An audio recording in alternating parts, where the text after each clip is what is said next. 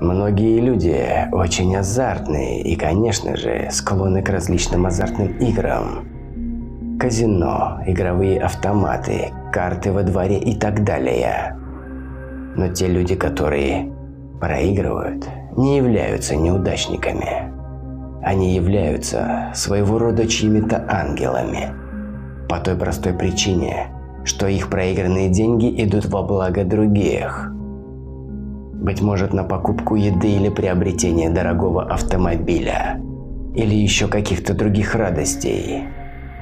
Все твои неудачи являются удачей других людей, которые по их сценарию жизни должны были оказаться именно там в нужный момент, потому что их мыслеформа сработала.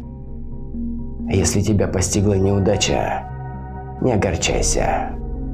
Просто помни, что ты этим самым сделал счастливее кого-то другого.